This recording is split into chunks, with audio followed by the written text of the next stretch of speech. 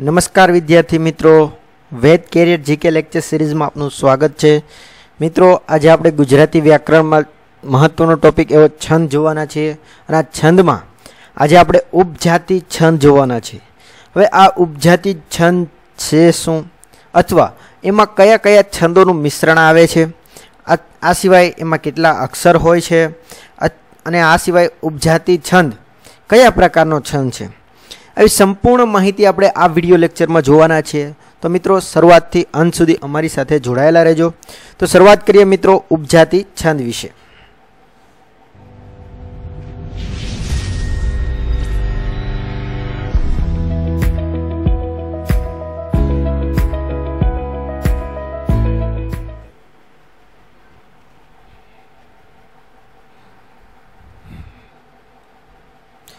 તો વાત કરીએ ઉપજાતિ છંદ. આ ઉપજાતિ છંદ છે એ કયા પ્રકારનો છંદ છે? અક્ષર મેળ માત્રા મેળ લય મેળ કે સંખ્યા મેળ તો આ ઉપજાતિ છંદ છે એ કયા પ્રકારનો છંદ છે? તો કે અક્ષર મેળ પ્રકારનો છંદ છે. કયો છે? તો કે અક્ષર મેળ પ્રકારનો છંદ છે. આ અક્ષરમેળ પ્રકારનો છંદ છે, જેમાં અક્ષરની સંખ્યા ચોક્કસ હોય છે અને લઘુ ગુરુ પણ ચોક્કસ હોય છે. એમનું બંધારણની વાત કરીએ, તો સૌપ્રથમ એમના અક્ષર ઉપજાતિ છંદમાં કેટલા હોય છે? તો કે એક, અગિયાર મિત્રો. અગિયાર હોય છે, પણ. હવે આ અગિયાર ક્યારે હોય છે એ જુઓ. તો કે જ્યારે આ છંદની એક જ પંક્તિ આપેલી હોય, ત્યારે જ છે એ કેટલા હોય છે? અગિયાર. પણ સામાન્યની, સામાન્ય રીતે આપણી જે હાલની કોમ્પિટિટિવ એક્ઝામ છે, કે હાલની જે પરીક્ષાઓ છે, એમાં એક પંક્તિ આપતા નથી. આ ઉપછંદમાં બે પંક્તિઓ હોય છે, એટલે કે અગિયાર પ્લસ અગિયાર, એટલે કે બાવીસ છે એ આ છંદના અક્ષરો છે. એટલે ખાસ સમજશું કે ફરીથી કે ભાઈ, આમાં સામાન્ય રીતે એક પંક્તિના અક્ષર કેટલા હોય છે? અગિયાર.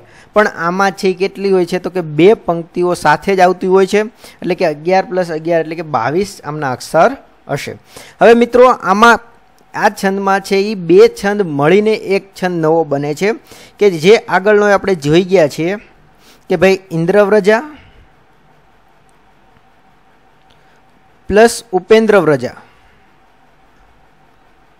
આ બે છંદ મળીને, એટલે કે અગિયાર પ્લસ અગિયાર, આ રીતના છે એ નવો ત્રીજો છંદ બને છે અને એનું નામ છે ઉપજાતિ. હવે મિત્રો, આપણે ઇન્દ્રવ્રજા અને ઉપેન્દ્રવ્રજા છંદ શું છે, એમના બંધારણ કયું છે અને અક્ષર કેટલા છે, એ સંપૂર્ણ આપણે વીડિયો અલગ અલગ મૂકેલા છે. એ તમે ન જોયા હોય હજી સુધી, તો તમે અત્યારે જ તમે પ્લેલિસ્ટમાં જઈને જોઈ શકો છો. અને મિત્રો, હજી સુધી તમે અમારી ચેનલ સબસ્ક્રાઈબ ના કરી હોય, તો અત્યારે સબસ્ક્રાઈબ કરો, બાજુમાં આવેલા બેલ આઇકોનને પ્રેસ કરો, જેથી કરીને નવી નવી માહિતી અપલોડ કરીએ, તો સૌ પ્રથમ નોટિફિકેશન દ્વારા માહિતી મળી રહે. અને મિત્રો, આ સિવાય આપણી ચેનલમાં અમુક સમયાંતરે છે એ આગળના જે જૂના પેપરો છે, એમનું સંપૂર્ણ સોલ્યુશન પણ મૂકવામાં આવે છે. તો એ પણ તમે ન જોયું હોય તો તમે પ્લેલિસ્ટમાં જઈને જોઈ શકો છો. અને મિત્રો, આ વિડીયોની ડિસ્ક્રિપ્શનમાં ફેસબુક પેજ, ફેસબુક ગ્રુપ અને ટેલિગ્રામ ગ્રુપની લિંક મૂકેલી છે. તો તમે તેમાં જોડાઈ શકો છો અને નવી નવી અપડેટ મેળવી શકો છો. તો જોઈએ મિત્રો, આ ઉપજાતિ છંદ કયા બે છંદોનું મળેલ, મળીને બને છે? તો કે ઇન્દ્રવ્રજા અને ઉપેન્દ્રવ્રજા. આગળની પરીક્ષામાં સવાલ પૂછાઈ ગયો છે કે ભાઈ, ઉપજાતિ છંદ છે એ કયા બે છંદો મળીને બને છે? તો કે ઇન્દ્રવ્રજા અને ઉપેન્દ્રવ્રજા. હવે વાત કરીએ થોડીક. તો કે આમાં છે એ શું હોય છે? આ છંદમાં જુઓ. તો કે આ છંદમાં એક પંક્તિ ઇન્દ્રવ્રજાની અને બીજી પંક્તિ કયા હોય છે? ઉપેન્દ્રવ્રજાની હોય છે. પણ મિત્રો, ફરજિયાત હોતું નથી કે ભાઈ પહેલી કઈ આવશે? ઇન્દ્રવ્રજા આવશે અને બીજી ઉપેન્દ્રવ્રજા આવશે. એવું ચોક્કસ હોતું નથી. હા, પણ એ કહી શકાય કે ભાઈ ઉપજાતિ છંદમાં બંને એક એક પંક્તિ હશે. અવશ્ય આવશે. એટલે કે પહેલી ઇન્દ્રવ્રજા પણ હોઈ શકે અથવા ઉપેન્દ્રવ્રજા પણ હોઈ શકે. એટલે આપણે એ ધ્યાન રાખીશું. હવે એમના ઉદાહરણ જોઈએ, જેથી કરીને આપણે વધારે થોડોક ખ્યાલ આવે. તો પ્રથમ ઉદાહરણ છે, કદી ઉપાડી નિજ અંક અંકમાં લે માથે મૂકી હાથ લડી ચૂમી લે.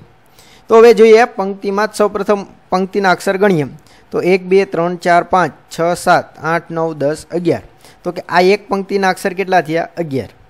એક, બે, ત્રણ, ચાર, પાંચ, છ, સાત, આઠ, નવ, દસ, અગિયાર. તો બીજી પંક્તિના કેટલા થયા? તો કે અગિયાર. અગિયાર પ્લસ અગિયાર એટલે બાવીસ. આ રીતના આપણો જવાબ આવશે. હવે જોઈએ કઈ ઇન્દ્રવ્રજાની છે અને કઈ ઉપેન્દ્રવ્રજાની છે. તો કે ભાઈ ત્રણ ત્રણની જોડ બનાવીએ, જેથી કરીને આપણે વધારે ખ્યાલ આવશે. હવે એમના લઘુ ગુરુ નક્કી કરીએ. તો કે લઘુ ગુરુ લઘુ. ગુરુ ગુરુ લઘુ. લઘુ ગુરુ. કેમ ગુરુ? તો કે અંકમાં છે. એટલા માટે ગુરુ અને લઘુ. ગુરુ ગુરુ. તો અહીંયા શું બનશે મિત્રો? તો કે જ. અહીંયા તારા જ એટલે ત અને જ ભાન એટલે જ. અને ગા ગા. તો આ જ ત જ ગા ગા એ કોનું કઈ પંક કયા છંદનું બંધારણ છે મિત્રો? યાદ કરો, આગળના વિડીયોમાં આપણે જોઈ ગયા છીએ. તો કયા આવશે? તો કે ઉપેન્દ્ર વ્રજાનું ઉપેન્દ્ર વ્રજાનું છે આ બંધારણ છે. હવે જોઈએ બીજી પંક્તિ સોલ્વ કરીએ. તો કે ભાઈ ત્રણ ત્રણની જોડ બનાવીએ. તો આ રીતના કંઈક ત્રણ ત્રણની જોડ બનશે. હવે એમના લઘુ ગુરુ નક્કી કરીએ. તો ગુરુ ગુરુ ગુરુ ગુરુ લઘુ. ગુરુ ગુરુ લઘુ. લઘુ, ગુરુ, લઘુ અને ગુરુ ગુરુ. તો અહીંયા બંધારણ શું બન્યું? ત ત, જ, ગાગા. ત ત, જ, ગાગા. તો આવું બંધારણ કોનું છે મિત્રો? તો કે ઇન્દ્રવ્રજાનું છે. આવું બંધારણ કોનું છે? તો કે ઇન્દ્રવ્રજાનું છે. એટલે આ રીતના આપણી ઉપેન્દ્ર ઉપજાતિમાં શું આવશે? તો કે એક પંક્તિ ઇન્દ્રવ્રજાની હશે અને બીજી કઈ હશે? તો કે ઉપેન્દ્રવ્રજાની હશે. હા, પણ એવું ચોક્કસ ના કહી શકાય મિત્રો કે ભાઈ એ પ્રથમ ઇન્દ્રવ્રજા જ આવશે કે ઉપેન્દ્ર વ્રજા આવશે. પણ ક્યારે પણ આ ઉદાહરણ પૂછાય એક્ઝામ્પલ પૂછાય, ત્યારે આ રીતના કંઈક આપને પૂછાતું હશે. હવે મિત્રો, ઘણા મિત્રોનો સવાલ આવતો હશે કે, સર, ક્યારે એક પંક્તિ પૂછાય? તો કે ના પૂછાય. એનું કારણ શું છે? તો કે કારણ કંઈક એવું છે, સમજો, કે જો માની લો કે એક પંક્તિ પૂછશે, તો આ બંનેમાંથી કોઈ પણ એક પંક્તિ મૂકશે. હવે જો આ બંનેમાંથી એક પંક્તિ માની લો કે આ પહેલી પંક્તિ મૂકે છે તો એ બંધારણ તો કોનું થઈ જાય છે? તો કે જત જ ગાગા એટલે કે ઉપજ, ઉપેન્દ્ર વ્રજાનું છે, એ આ બંધારણ થઈ જાય છે. તો આપણો છંદ કયો બની ગયો? તો કે ઉપેન્દ્ર વ્રજા બની ગયો. આથી ઉપજાતિમાં એ લઈ શકાય નહીં. એટલા માટે જ્યારે પણ તમને ઉપજાતિનું પરીક્ષામાં ઉદાહરણ પૂછાય છે, ત્યારે બંને ઉદાહરણો મૂકેલા હોય છે, એટલે કે બંનેની પંક્તિઓ હોય છે ઉપજાતિની અને સોરી ઉપેન્દ્ર વ્રજાની અને ઇન્દ્ર વ્રજાની પંક્તિઓ બંનેની મૂકેલી હોય છે. તો આ રીતના આપણે આ પરીક્ષામાં પૂછાતો હોય છે. હજી એકાદ બે ઉદાહરણ જોઈએ, જેથી કરીને આપણે વધારે ખ્યાલ આવે. તો બીજું ઉદાહરણ છે, બલિષ્ઠ જેવો પણ માનવી તો છે પૂતળું દુર્બળતા તણું છે. તો સૌપ્રથમ અક્ષર ગણીશું. તો કે એક, બે, ત્રણ, ચાર, પાંચ, છ, સાત, આઠ, નવ, દસ, અગિયાર. એક, બે, ત્રણ, ચાર, પાંચ, છ, સાત, આઠ, નવ, દસ, અગિયાર. તો અગિયાર અગિયાર પંક, અક્ષરો છે બંને પંક્તિઓમાં. હવે જોઈએ કઈ ઇન્દ્ર વ્રજાની છે ને કઈ ઉપેન્દ્ર વ્રજાની છે. તો અહીંયા ત્રણ ત્રણની જોડ બનાવીશું. આમાં પણ ત્રણ ત્રણની જોડ બનાવીશું. પછી એમના લઘુ ગુરુ નક્કી કરીએ. તો કયો આવશે? તો કે લઘુ બલિષ્ઠ. જો મિત્રો, અહીંયા શું આવશે? ગુરુ આવશે. કારણ કે સ્થનો છે એ ભાર ઉચ્ચારણમાં લી ઉપર પડે છે. એટલે લઘુ હોવા છતાં પણ શું આવશે? ગુરુ. અને સ્થ છે એ સામાન્ય છે. એટલે આવશે લઘુ. પછી ગુરુ ગુરુ, લઘુ. લઘુ, ગુરુ, લઘુ અને ગુરુ ગુરુ. આ બંધારણ કોનું થયું? તો કે જ, ત, જ. હવે જ, ત, જ બંધારણ કોનું છે? તો કે ઉપેન્દ્ર વ્રજાનું છે. ઉપેન્દ્ર વ્રજાનું છે. એટલે આપણો બંધારણ આમ જોવા જઈએ તો આ પંક્તિ કયા છંદની થશે? તો કે ઉપેન્દ્ર વ્રજાની થશે. હવે આનું જોઈએ તો કે ગુરુ ગુરુ, લઘુ. ઉળુ, આની ઉપર ભાર પડે છે એટલા માટે શું આવશે? ગુરુ. દુર્બળ. જો મિત્રો આ રનો ભાર દૂર સાથે આવી જાય છે, એટલે કે જોડાક્ષરનો ભાર આગળના અક્ષર ઉપર પડે છે, એટલે લઘુ હોય તો પણ શું બનશે? ગુરુ. અને શું આવશે? લઘુ. બ છે લઘુ. લઘુ ગુરુ, લઘુ અને ગુરુ ગુરુ. હવે આ જ કઈ રીતના થયો? તો કે યાદ કરો મિત્રો નિયમ. તો કે જ્યારે પંક્તિનો છેલ્લો અક્ષર કોઈ પણ હોય, લઘુ હોય કે ગુરુ હોય, એને શું ગણવામાં આવશે? તો કે ગુરુ જ ગણવામાં આવશે. તો આ આપણો નિયમ આગળ આપણે જોઈ ચૂક્યા છીએ છંદમાં. તો કે જ્યારે પંક્તિના કોઈ પણ પંક્તિમાં જે છેલ્લો અક્ષર છે, એ લઘુ હોય તો ભલે અને ગુરુ હોય તો ભલે, એમને શું ગણવામાં આવશે? તો કે ગુરુ જ ગણવામાં આવશે. એટલા માટે જુ છે, જ છે એ ગુરુ બનશે.